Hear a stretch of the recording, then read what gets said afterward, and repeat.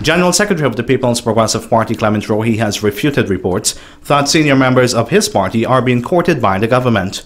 There have been reports in sections of the media that the current administration was interested in recruiting former ministers for top posts. Rohee had this to say on the issue.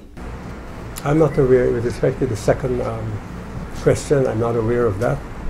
Um, I've seen some statements in the press about preferences of um, Raphael Trotman, but um, sorry to be late. that might very well be his individual opinion.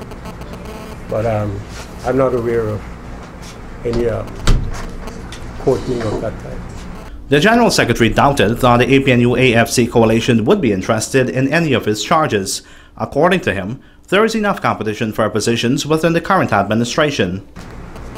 My reference here to winner takes all is in respect of the APNU AFC alliance itself, in the sense that almost everyone comes from within that alliance and not from outside the alliance.